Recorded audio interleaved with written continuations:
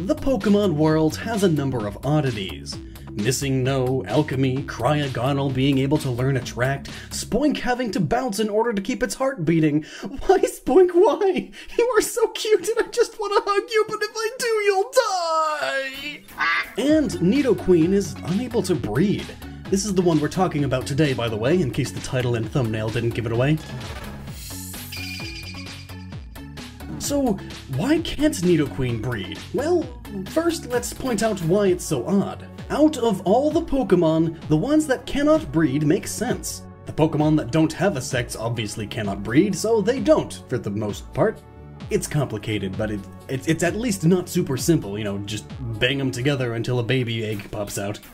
And other than the sexless ones, the Pokemon in the undiscovered egg group are also unable to breed, but if you go through the list of Pokemon in the undiscovered egg group, legendary Pokemon, legendaries, legendaries, legendaries, baby Pokemon. Breeding babies is wrong. Legendaries, holy butts, there are a lot of legendaries, more babies, legendaries, and Nidoqueen. Nidoqueen? Nido.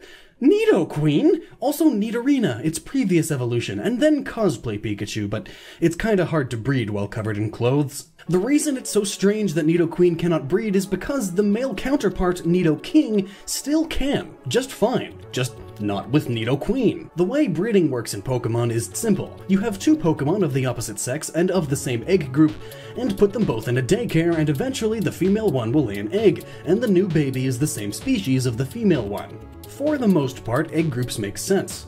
But there are a few oddities. That's a video for another time, but the popular joke is that a Skitty and a Wailord are able to breed. a massive blue whale and a cat. Better hope the whale is the female, because whale dongs can be the size of a car.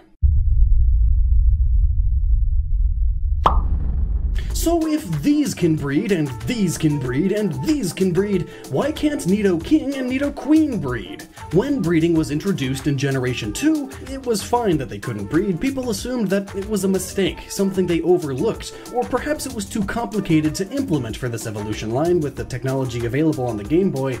Most Pokemon are still called the same Pokemon despite their sex, while the Nido lines are technically considered different Pokemon depending on them being male or female.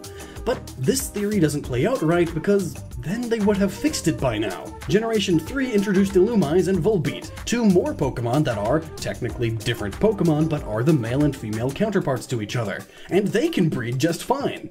But even today, Nidoqueen is unable to breed at all, while Nidoking can get schwiffy with it all around. It's not like this was intentional, right? Nidoqueen's Pokedex entry mentions her main thing is that she gets a lot stronger while protecting her young, much like real rhino mothers, which the Nido line is somewhat based on. They get very aggressive when protecting their offspring.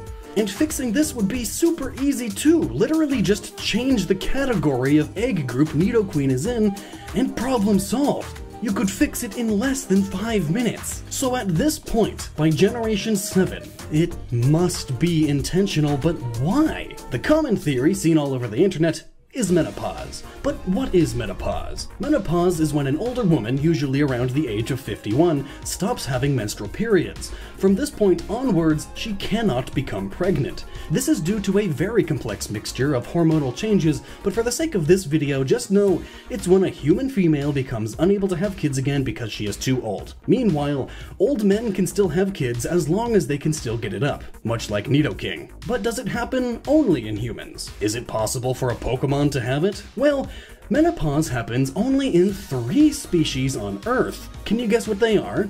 One of them is humans, obviously, but the other two may surprise you. Have you guessed yet? It's humans, killer whales, and pilot whales. Odd. So it does happen in some animals, some is a massive understatement, but only marine ones. So unless the Nido line of Pokemon are human-like, which they aren't, or are marine animals, which they aren't, then the menopause theory doesn't quite work. Especially since Nidorina, the middle stage, perhaps the young adult or teen equivalent, also cannot breed. Early menopause does happen about 1% of the time around the late 30s, but that's too small of a chance to be considered for this theory. What's interesting though is while the middle and final stages of this line cannot breed, even with Nidoking, its first stage, Nidoran, can with Nidoking. Or should I say, Pedo King? Maybe the origins of what the line is based on will have a different answer. The Nido lineup get their names from a few different words from Latin languages and Japanese.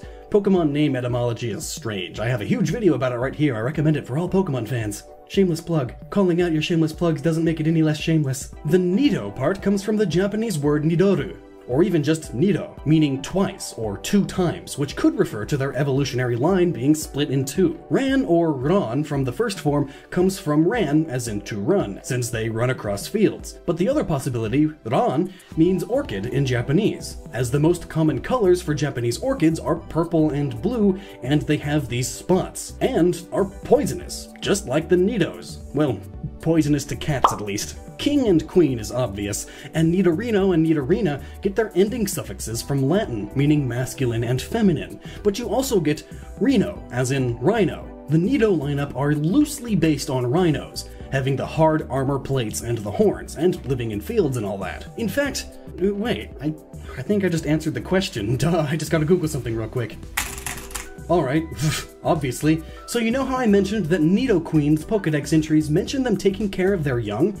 If it's worthy enough for a Pokedex entry, then it has to be a major thing. But Pokedex entries are often more about the wild Pokemon in their natural habitat, rather than the captured battling ones. So perhaps, much like actual rhinos, they breed just fine in the wild, but in captivity, they have problems. Sumatran, black, white, all kinds of rhinoceroses are notoriously difficult to breed in captivity. Some of them so much so that they are slated for extinction because they are all dead in the wild, and the ones in captivity aren't breeding. Even artificial insemination does not work with them very well, and it's specifically because of the way the female rhinoceros's reproductive organs work. They are shaped extremely irregularly and use a complex concoction of hormones that need to be present for baby making, and these hormones simply do not come out while a rhino is in captivity. Meanwhile, the male rhinos are fine for the most part. It's easy enough for them to get it on wherever and whenever anyone wants it.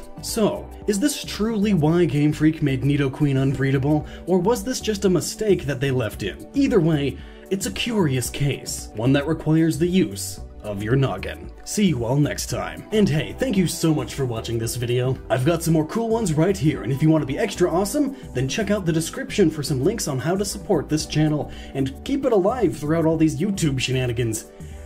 嗯。